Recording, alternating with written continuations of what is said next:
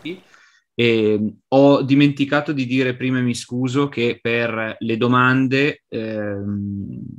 sarebbe molto indicato prenotarsi indicando il proprio nominativo nella chat, come ha fatto Giulio Ceste, che eh, avrebbe una domanda, poi è intervenuto William, eh, mi sembrava però di più un commento più che una prenotazione, e poi si è prenotato Corrado Conti. Allora, prima di passare la parola a Giulio Ceste, eh, ricordando sempre appunto di cercare di essere sintetici nelle domande, prima vi citavo l'audizione di Confindustria e alla Commissione Industria del Senato, ieri è stata audita anche A2A, eh, multi-utility che conoscete bene, di cui i principali azionisti sono il Comune di Milano e il Comune di Brescia. Eh, è interessante notare, sempre nel solco della concorrenza, eh, diciamo della retorica che eh, caratterizza eh, la cantilena della concorrenza, notare come A2A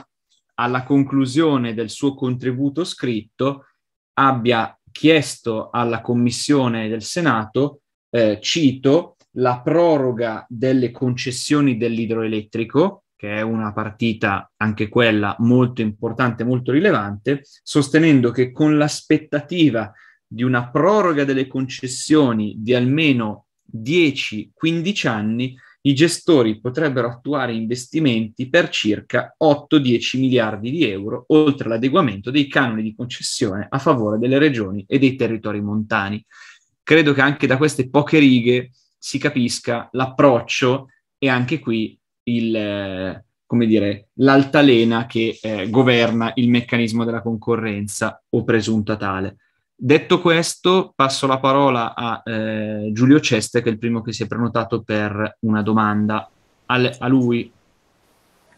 Grazie. Eh, io non so bene a chi eh, indicare questa domanda, per cui la pongo qui piuttosto anche potete magari chi, chi, chi vuole rispondere o se volete integrare le risposte. E, ehm, volevo chiedervi se, eh, perché io non sono molto ferrato su come funzioni anche al, al momento a, a, Torino con SMAT, come funziona, come è organizzata e eh, in qualche modo eh, da un lato se a livello cittadino eh, dall'amministrazione o da SMAT stessa sia arrivato qualche eh, eh, se, non, non, so se presa di posizione o comunicato o qualche cenno almeno rispetto a, a, questa vicenda e nello specifico cosa cambierebbe nel caso in cui poi entrasse in vigore e quali risvolti potrebbe avere anche, anche perché non, so, non ho neanche tanto percezione di quanto sia in questo momento efficiente secondo i parametri di cui si diceva prima, eh, in questo ribaltamento anche di, di di orizzonti, eh, appunto, cosa succederebbe o quali scenari, anche conoscendo un po' la situazione specifica che io... Ok, un, un po' questa è la domanda. Chiarissimo. Chiarissimo, grazie. E magari proviamo a raccoglierne, non so se eh, il professor Agostino e Eleonora Artesio vogliono già rispondere, altrimenti possiamo anche raccogliere l'intervento di Corrado. Naturalmente la domanda può essere anche estesa al comitato, cioè se dal comitato a proposito di SMAT si vuole dire qualcosa. Fatemi un cenno, Mariangela. Sì, se volete ora o dopo. O... Facciamo così, eh, raccogliamo anche la domanda o l'intervento sì. di Corrado, poi Mariangela Rosolen per il comitato risponde a Giulio sulla, diciamo, sulla situazione di Torino, la risposta degli enti locali, delle amministrazioni pubbliche e eh, gli eventuali scenari anche rispetto a SMAT. Corrado. Eh, ciao, sono Corrado Conti, scusate se non ho il video ma eh, non ce l'ho proprio, quindi sono conterraneo di Duccio che quindi mi può fare da garante. Quindi. Eh, ecco, io devo dire che ho trovato molto interessanti gli interventi della professoressa Agostino e di, della signora Artesio, soprattutto per quanto riguarda il fatto che secondo me la battaglia per lo stralcio dell'articolo 6 deve essere non tanto un punto di deve essere concepito come se non è tanto un punto di partenza, ma l'articolo 6 è l'arrivo di tutta una serie di eh, ovviamente normative, ma anche e soprattutto prassi amministrative tese eh, che hanno come obiettivo quella della privatizzazione dei servizi e dei beni. Direi che trovo molto interessante velocemente le considerazioni dell'Artesio sul discorso che una battaglia per lo straccio dell'articolo 6 senza cambiare la finanza locale non ha senso. Lo dico per la mia esperienza lavorativa da più di 40 anni negli enti locali per la contabilità. Io penso che oramai da tantissimo anno, anni ci sono striscianti tentativi di privatizzazione che partono anche dalla privatizzazione degli strumenti e delle procedure di programmazione, di gestione, di rendicontazione economica degli enti locali, sempre sulla base di un, della concezione di fondo di cui hanno parlato i relatori, che della logica che il privato è bello e il pubblico è comunque inefficiente. Se si pensa alle riforme delle finanze locali, eh, molto spesso prese come se fossero sempre grandi, dei grandi progressi, in realtà ci si rende conto che sono tutti tentativi di introdurre nella, negli enti locali la contabilità privatistica che eh, in maniera molto parole povere porta chiaramente a avere come obiettivo il profitto e non tanto quello dell'utile pubblico. Tutte le riforme delle finanze locali vanno in questo senso. Da ultimo si fa per dire anche l'ultima riforma con cui addirittura son, si sono moltiplicati gli strumenti che poi hanno portato a privatizzare eh, sia i beni che i servizi comunali, riducendo quelle che erano le risorse correnti e portando a utilizzare le risorse straordinarie per finanziare spese correnti. Qui ci sono molti amministratori, lo sanno, è inutile ricordare il periodo degli oneri di urbanizzazione usati per eh, riequilibrare le parti correnti del bilancio, che hanno portato anche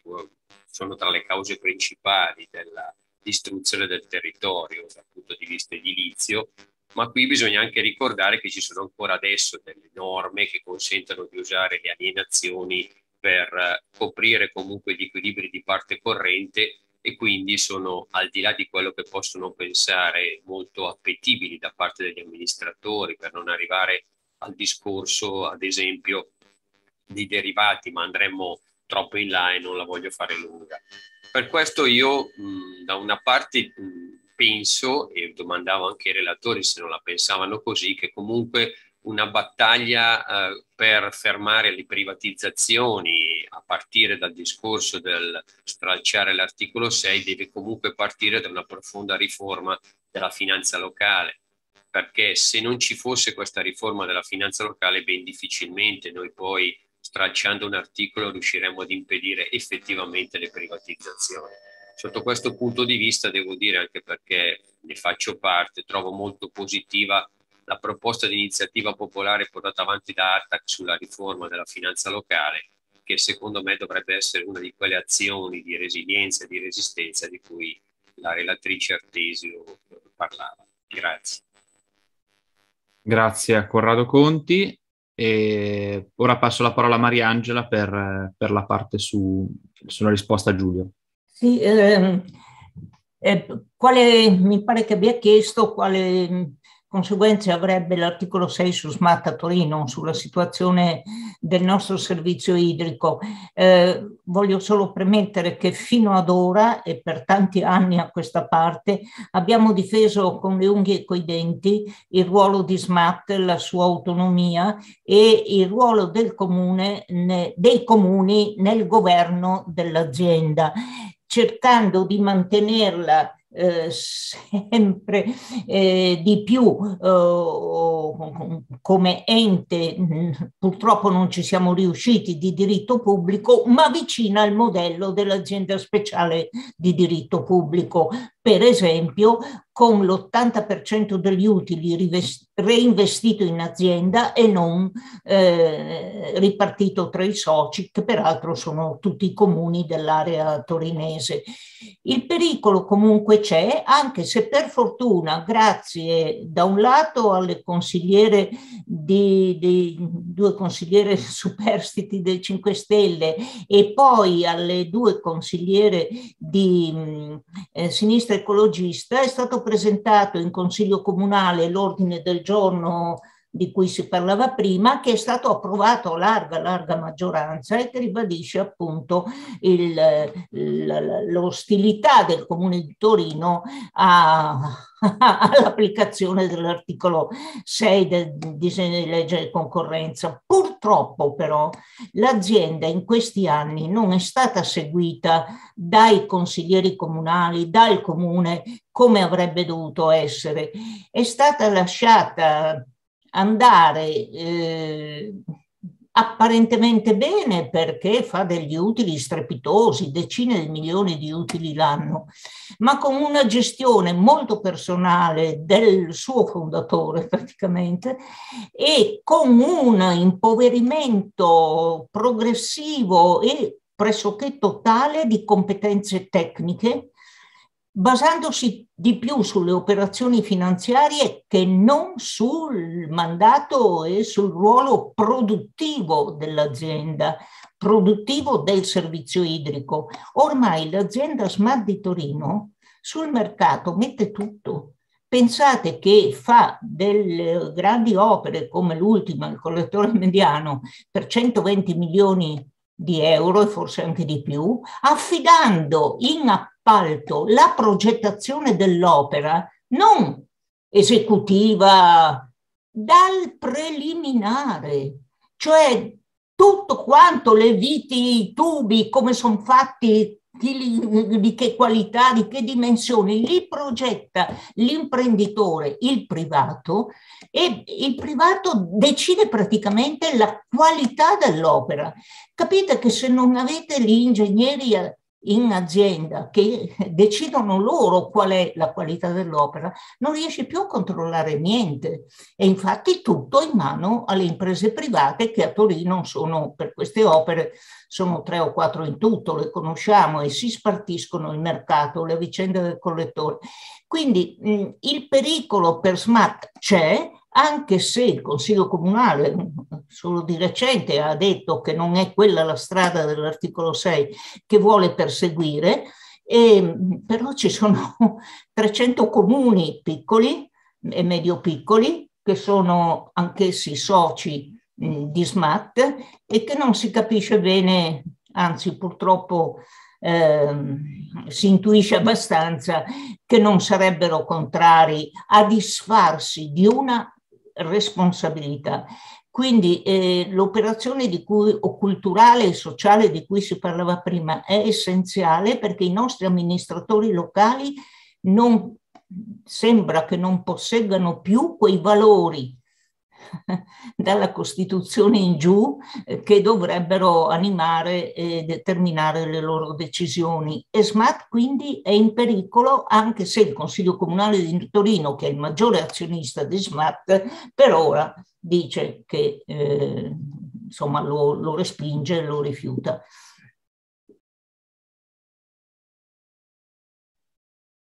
Grazie. Grazie mille Mariangela Rosolen del comitato e Gianni Ruggeri, prego. Ma uh, scusate per, come dire, la, la, la pochezza del, dell'argomento che sto per, per proporre, ma mh, uh, vorrei, uh, come dire, rappresentare o ricordare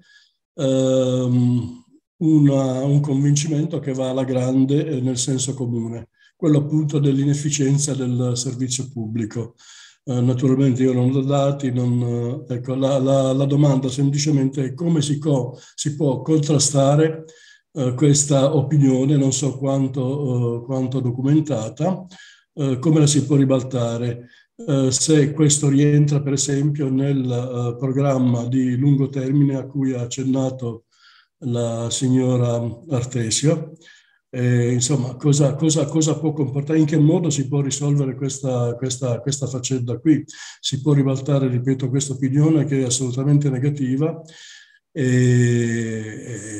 e, però uh, continua a ristagnare nella stragrande maggioranza dell'opinione pubblica. Grazie. Grazie a Gianni Ruggeri. William ha alzato la mano, prego rispetto agli interventi di prima,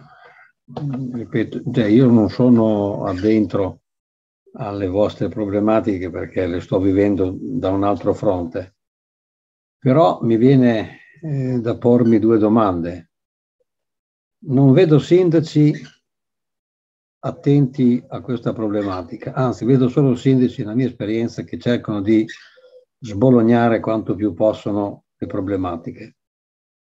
Quindi non vedo assolutamente nessuna possibilità per sindaci che governano territori piccoli di essere propositivi su questi argomenti. In Italia, dal mio punto di vista, manca un'aggregazione, un obbligo di aggregazione ai comuni che li, li, dovrebbe portare, a mio avviso, a, a una massa critica di 50.000 persone per avere diciamo, gli effetti che voi state proponendo. Io vivo nella mia esperienza eh, di residenza eh, questa, questa difficoltà, questo distacco tra quanto voi dite e la realtà dei fatti. Cioè non siamo tutti città metropolitane e quindi gli, i problemi si affrontano in maniera diversa. Qui il referendum è stato sì vinto, ma poi dopo non è stato applicato per prima, per prima colpa diciamo, dei sindaci, non ne vogliono sapere mezzo di avere problematiche di acquedotto o meno. Più è piccolo il comune, più questa questione risulta, quindi c'è un, un, un distacco tra eh, quanto sento questa sera e la realtà, diciamo, dello stivale lungo. E questo mi preoccupa, nel senso che non, io non vedo nessuna soluzione al fatto che si passi eh, ai privati, perché comunque ci sono comuni che sono talmente piccoli che non, non hanno nessun tipo di, di, di, capacità né politica né gestionale né assolutamente nulla e quindi si adeguano. È chiaro che eh, dal mio punto di vista se non passa una riforma generale di questi comuni, quindi una fusione dei comuni obbligatoria, difficilmente si riesce a, a, a tarpare le ali a questa finta concorrenza per quanto riguarda i settori acqua, energia, eccetera, eccetera. È chiaro che le, le multinazionali, cioè le, multi, le multi-utility sono un progetto, sono una realtà che, ripeto, per molti comuni ha risolto dei problemi. E qui c'è il distacco tra, tra il cittadino e la presenza del cittadino e, e il servizio. Io non so fino a che punto in, in, piccoli comuni come quelli dove io risiedo, dove, quello che stiamo cercando di fare in Piemonte, ci sia questo sentore che vedo questa sera, che ho comunque sentito già diverse volte, per cui questa cosa veramente mi preoccupa, nel senso che diventa un discorso riservato a, alle città metropolitane e ai comuni grossi. Difficilmente un comune piccolo riesce ad essere su una linea di interpretazione dei servizi eh, come ho sentito dire questa sera. Grazie a tutti. Grazie.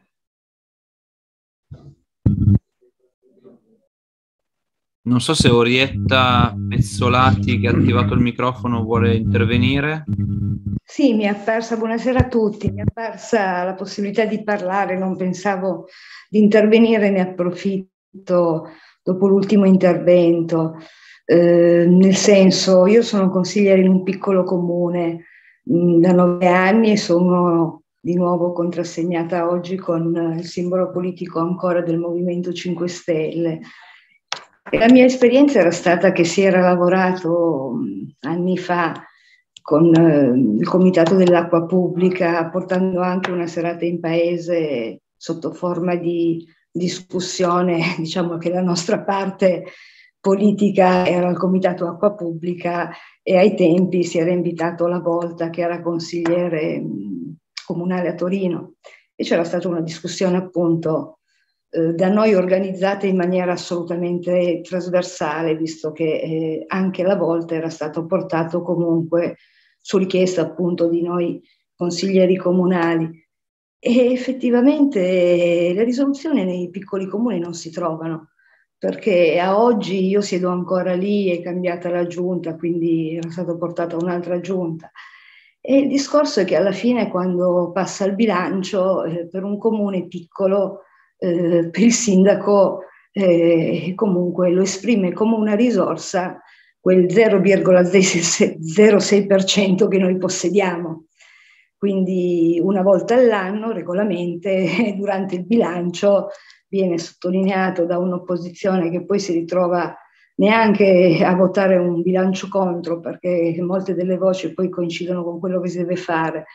però a sottolineare quanto tutto sommato questo introito di risorsa molto piccolo forse è il momento di lasciarlo andare, nel senso si, si la risoluzione anche portata a livello di consiglio comunale era stata poi votata anni fa dai due consiglieri del Movimento 5 Stelle e da un consiglio comunale che comunque ne resta assente perché tanto avendo solo uno 0,06%, un sindaco, un assessore mi continua a dire che lui non riesce a incidere in nessuna maniera. Quindi di nuovo quello che è la sorte del Movimento 5 Stelle in questo momento è davanti agli occhi di tutti, quindi probabilmente nei tempi in cui si, c'era il potere per poter incidere, anche lì in pochi si sono riusciti a coordinare nella giusta maniera con il grosso, grossissimo lavoro di acqua pubblica. Io, per la mia esperienza, vi dico, mi avvicinai al mondo della politica perché mi diedi disponibile con il referendum del 2011 che abbiamo stravinto. Ultimamente ho certificato per quello riguardante il testamento biologico e sono lì che ascolto della gente che decide, scusate lo sfogo, di non fare delle leggi. Quindi la mia realtà in questo momento mi dice chi ha ancora la forza andiamo avanti anche nei consigli comunali, anche come opposizione, però effettivamente è proprio palese che non riusciamo a, se non come dico, magari a organizzare col clima giusto delle serate di discussione con le parti politiche che siedono lì e coi cittadini, se riusciamo però a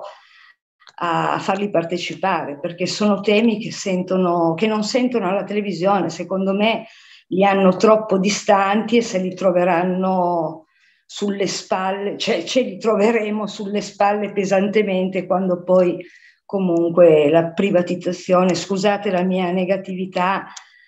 arriverà come abbiamo visto arrivare in tanti, in tanti altri ambiti lavorativi. Quindi non pongo domande, nel senso sono qua anche stasera, ho provato a collegarmi, mi ha fatto piacere anche il mio comune, devo dire la verità, mi ha girato l'invito che è stato mandato al comune, a me era arrivato in maniera diretta, era un po' di tempo che non seguivo questi temi, eh, da, da, un pochino più da vicino proprio perché il logoramento dei nove anni è tutto sulla mia, sulla mia persona in questo momento. Quindi vi ringrazio, ho approfittato per un piccolo sfogo nella discussione interessantissima davvero e che cercherò di mettere impegno nel continuare a seguire con piacere anche in quello che possono essere appunto delle manifestazioni da portare avanti, come dico, che però difficilmente van, vanno a incidere, almeno da noi l'esperienza è stata quella. Sono passati anni e, e come dico, ai tempi quel, il nostro gruppo politico aveva dei numeri anche molto forti, oggi dovrà provarci qualcun altro per incidere un po' di più, immagino. Ringrazio tutti. Grazie. Grazie per il suo contributo, eh, Orietta Pezzolati. E... Dobbiamo una risposta a, a Gianni Ruggeri, chiedo anche a, ripeto, a Eleonora Artesio, magari per la sua esperienza amministrativa precedente e naturalmente anche alla professoressa Agostino se vogliono rispondere, altrimenti Mariangela per il comitato, cioè su che strumenti dare per controbattere alla retorica del privato più efficiente, il pubblico con la brodo.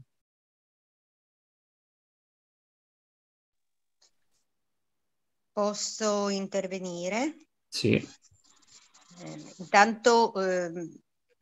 in ambito domestico abbiamo due connessioni contemporanee, mi scuso se ci sono o ci saranno delle interferenze.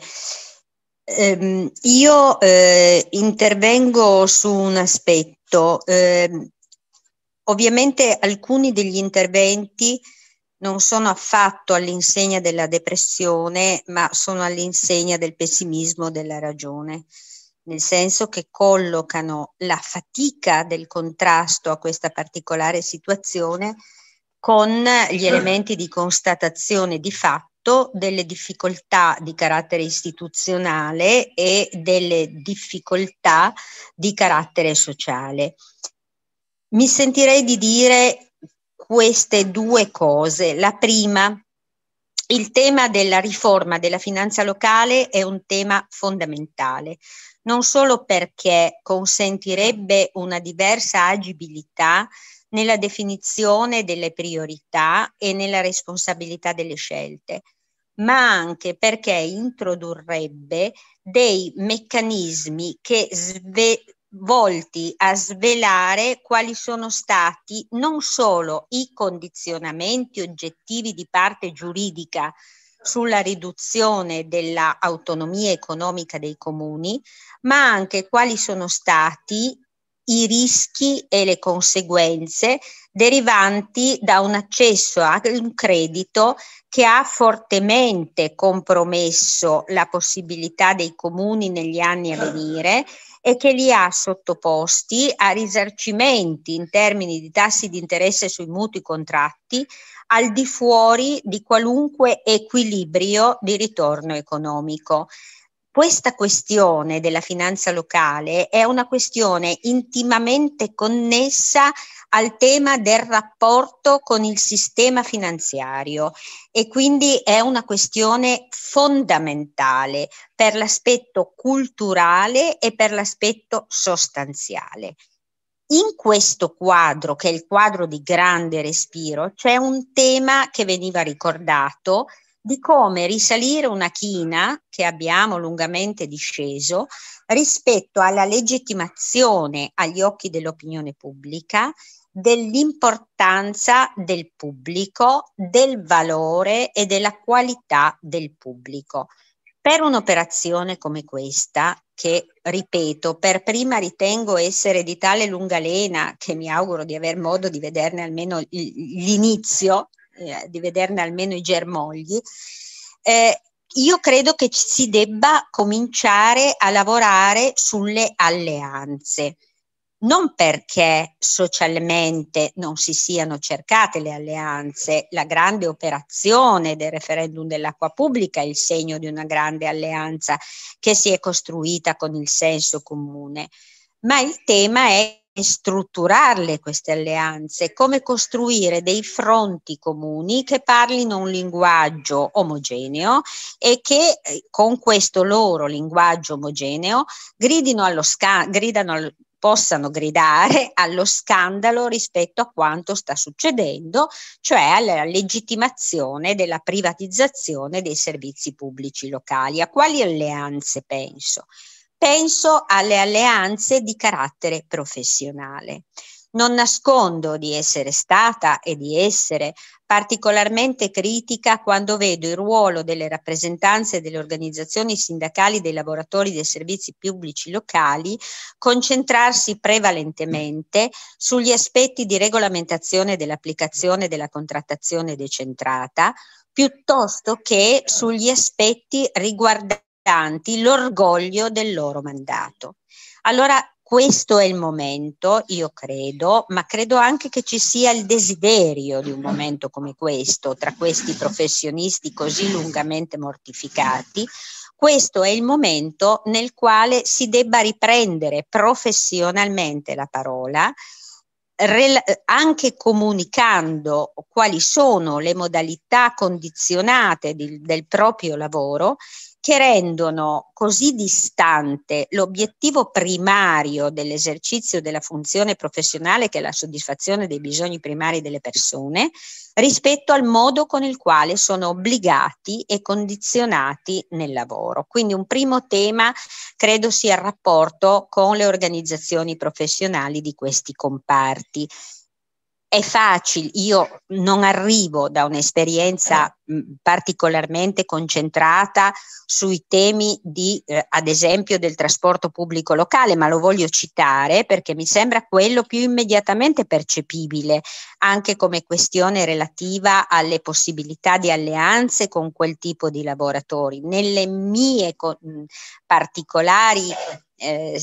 questioni di attenzione eh, rispetto all'attività amministrativa che sono quelle sociali e sanitarie, questo tema è fortemente enfatizzato perché è il tema della relazione con le persone che emerge prepotentemente ed è la relazione con le persone che fa emergere con prepotenza la distanza tra un obbligo di agire e di svolgere servizio sottoposto a quei temi di bilancio di cui parlavamo prima e invece il bisogno in carne e ossa espresso, urlato, eh, rappresentato dalle persone che si rivolgono ai servizi. Quindi un tema da dove cominciare, si diceva, per risalire alla china della delegittimazione, un tema penso sia quello delle alleanze con eh, le professionalità che operano all'interno di quei servizi e ho ben presente come ad esempio si sia lavorato a Torino in un appuntamento pubblico eh, proprio su SMAT per conquistare a questa attenzione, a questa sensibilità la struttura interna del personale di SMAT. La seconda questione è quella delle alleanze diffuse e, e come eh, può funzionare la relazione con le alleanze sociali più diffuse? Certo, veniva detto, i cittadini in questo silenzio tombale o in questa acquiescenza per cui c'è un'omogeneizzazione culturale rispetto al tema della privatizzazione, si accorgeranno soltanto quando lo misureranno nelle conseguenze di quanto è accaduto, di quanto stia accadendo.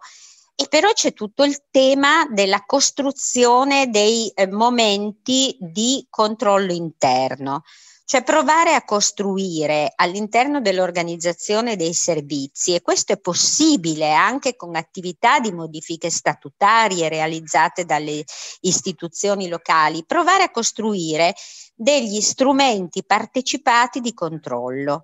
che possano agire nella direzione non solo di misurare con dati accessibili e quindi con un principio di trasparenza amministrativa gli effetti del funzionamento degli stessi servizi, ma anche di costruire una cultura via via progressivamente più solida e quindi anche eh,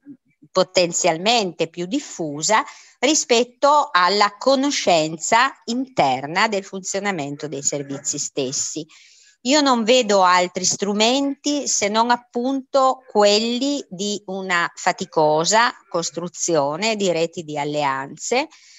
per un versante con coloro che agiscono e condividono a volte loro malgrado una responsabilità rispetto alla qualità del funzionamento e dall'altro lato con queste forme di comitati di partecipazione all'interno degli stessi servizi pubblici locali questione che veniva anche ricordata essere esplicitamente prevista anche dalle norme. Ho finito. Grazie. Ora passo la parola alla professoressa Agostino per una... D'accordo, no, solo due, due, battute in realtà, vista, vista anche l'ora. Beh, mi pare che ci fossero due le questioni, quella della smart ha già risposto molto bene anche Mariangela, ma la, la questione del, dell'inefficienza delle, del pubblico, su cui mi sento semplicemente di fare proprio due considerazioni. Cioè a me pare che ogni volta si voglia aprire un nuovo, diciamo, spazio di colonizzazione per, per il mercato, si proceda prima ad una campagna di, di legittimazione di, quelle, di, quel settore. Io l'ho visto accadere un po' anche per la scuola, forse per l'università e, ah, per, e anche per, l'uni, per, l'università. Cioè prima si cerca di denigrare diciamo, il pubblico e si apre e si, e si, così lo spazio diciamo, per, per l'avvento poi del mercato E quanto al concetto di efficienza e inefficienza, a me pare che il concetto di efficienza sia un po' come il concetto di governabilità che ricordava prima Leonora Artesio, cioè ehm, quei concetti che sembrano neutri ma non lo sono. Quando noi parliamo di governabilità dobbiamo sempre chiederci governabilità per chi, governabilità per che cosa, in nome di che cosa, con quale fine, con quale obiettivo. E il termine efficienza è un termine molto correlato anche qui all'ottica poi economica, all'ottica che tende alla massimizzazione del profitto, eccetera, non a quella dei, dei diritti. Ehm, quanto alla finanza locale veniva, ri, veniva citato prima il, ehm, la proposta anche di, di, di, attack che se non sbaglio ragiona di un bilancio che deve essere un, un, un pareggio di bilancio sociale, ecologico, di genere cioè, eh, se, mh, mm, a me pare che bisogna però proprio in radice abbandonare un po' questa prospettiva, diciamo, del, del pareggio di bilancio. Questa è un'altra delle imposizioni che, sono, che discendono dalla, da quella famosa lettera della, della, della, BCE che citavamo prima, la lettera del 5 agosto 2011, che tra le altre misure, tra le varie misure puntuali che prevedeva di il governo dovesse adottare, anzi il primo ministro diceva la lettera addirittura, eh, portandosi avanti su future riforme istituzionali, neanche il Presidente del Consiglio, diceva eh, appunto l'introduzione con legge costituzionale del principio di pareggio di bilancio. Mai legge costituzionale è stata adottata in tempi così rapidi come quella che ha introdotto il principio di, di, pareggio di bilancio. E forse da qui bisognerebbe ripartire e allargare anche il discorso in realtà sul senso di, questa, di questo inserimento in Costituzione che rappresenta una nota di stonata all'interno del, del testo costituzionale e che, eh, ricordiamocelo, non deve portare ad un bilanciamento con i diritti. In questo caso il bilanciamento non è un bilanciamento uguale, ma un bilanciamento diseguale, perché da un lato noi abbiamo una nota stonata, che è il principio di pareggio di bilancio, e dall'altro abbiamo l'armonia di un testo costituzionale che pone al centro l'ottica della persona, dei diritti, al quale strumentale la seconda parte della Costituzione, che ha un articolo 41, lo ricordavo prima, che prevede dei limiti, una programmazione dei controlli e dei controlli economici. Per cui ehm, secondo me sì, bisogna riprendere proprio queste e inserire questo discorso anche del disegno di legge concorrenza in una progressiva deriva di questi, di questi discorsi, di questa assunzione di maggiore centralità del principio di pareggio di bilancio, così come bisogna mettere in discussione la questione della limitazione delle risorse, perché non di limitazione si tratta molto spesso, ma di scelte politiche sul, sulla, sulla destinazione, sull'allocazione delle risorse.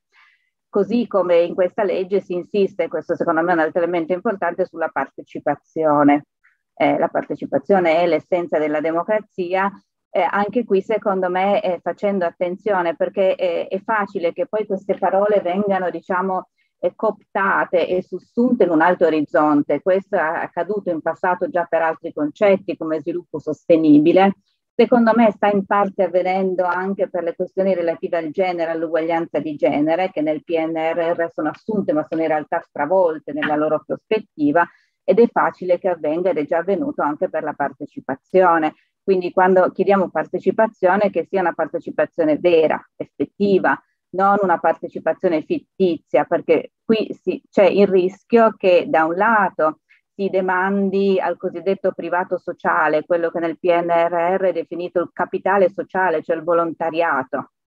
Anche qui, eh, in questo modo, diciamo, dismettendo risorse, risorse pubbliche. E dall'altro lato il, il, rischio è che si creano degli organismi, magari semplicemente consultivi, che funzionino un po' come poi da anestetizzazione preventiva del, del dissenso per cui una partecipazione sì, ma che sia una partecipazione effettiva va senza dubbio recuperata. Eh, secondo me sia per diciamo, mh, contrastare la campagna di delegittimazione del pubblico, sia diciamo, per riportare altre prospettive diverse che occorre cercare di demistificare diciamo, queste, queste campagne, denunciare che cosa sta dietro queste campagne